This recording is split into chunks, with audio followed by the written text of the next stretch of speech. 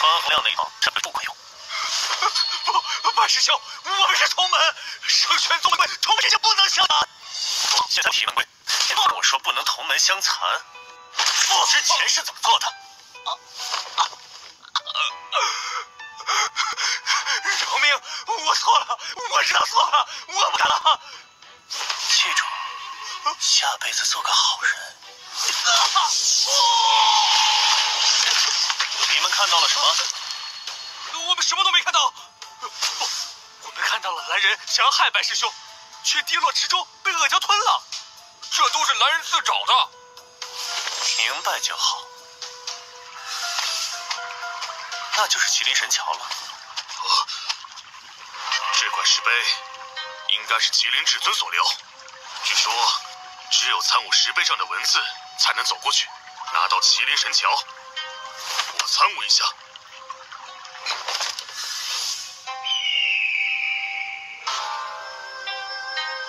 我虽然能参悟上面的文字，但是太慢了，这么久才参悟了一个字。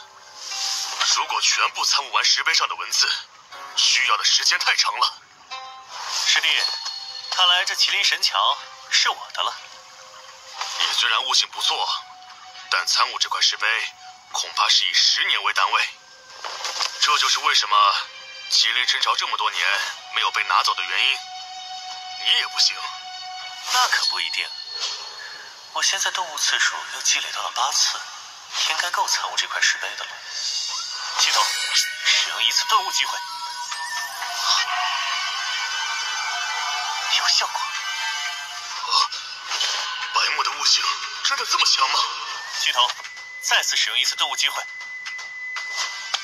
根据顿悟得来的信息，这石碑上的内容，竟然是一门王体的开启之法。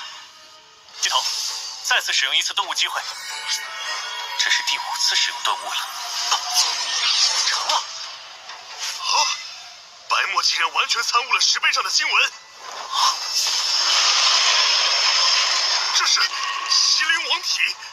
哈哈，不白顿悟，顺利开启了麒麟王体。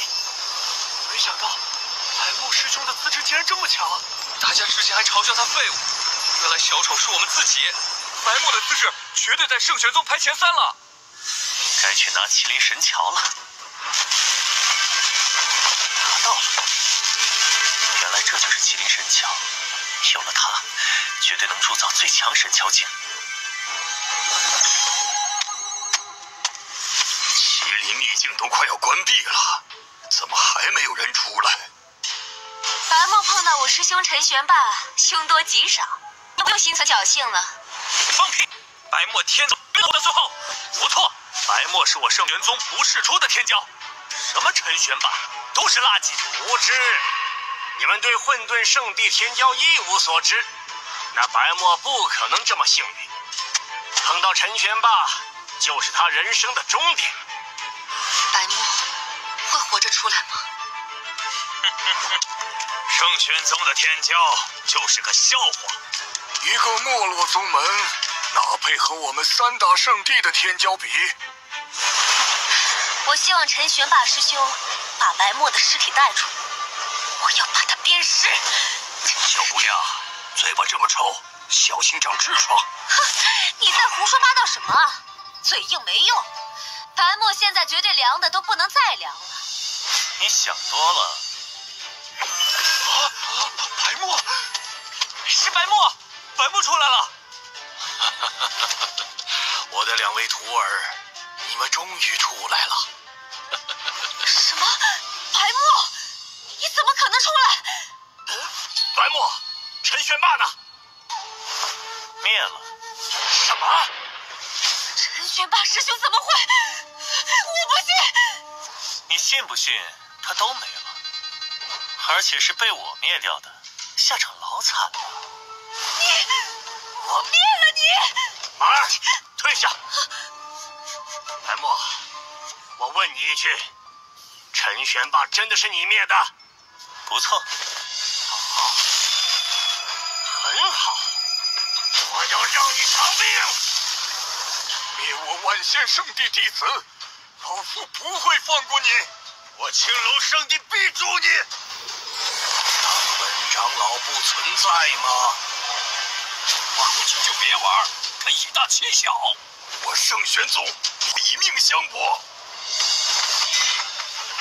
无论如何宰了这小畜生，不然以后成长起来必会是心腹大患。上，拦住他们！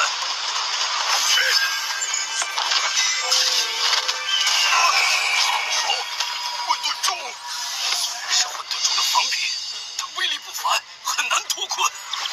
白墨，怪就怪你太过狂妄！一个没落圣地的天骄，也敢肆无忌惮的灭三大圣地的弟子，你活腻了！